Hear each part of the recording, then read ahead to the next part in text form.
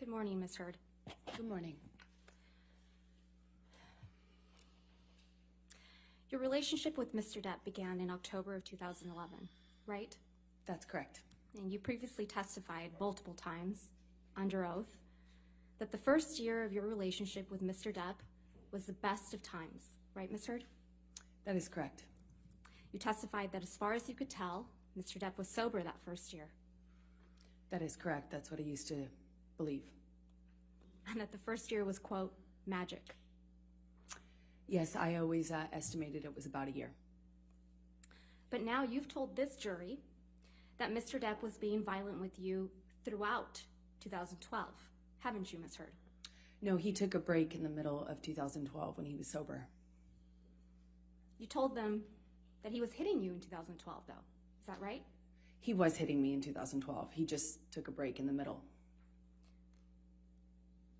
He was smashing things around you, right? He did. And you told them that Mr. Depp was in and out of sobriety in 2012. That is correct.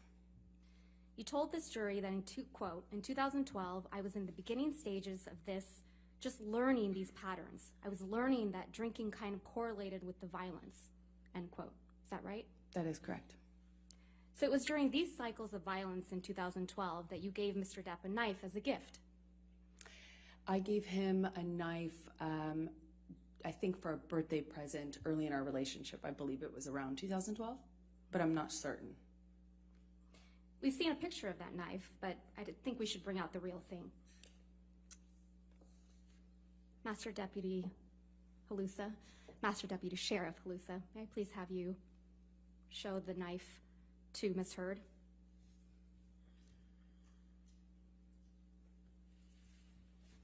Yes, that's it. That's the knife you gave to the man who was hitting you, right, Miss Heard? I wasn't worried he was going to stab me with it when I gave it to him, that's for certain. But you gave it to him while he was abusing you, allegedly. I gave it to him that year. Master Deputy Sheriff Halusa, will you please show the knife to the jury?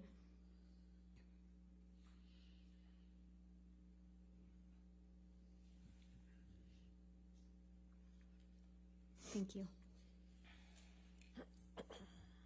This is the knife you gave to the man who would get drunk and violent with you, right? This is the same knife that I gave him as a present in 2012, yes.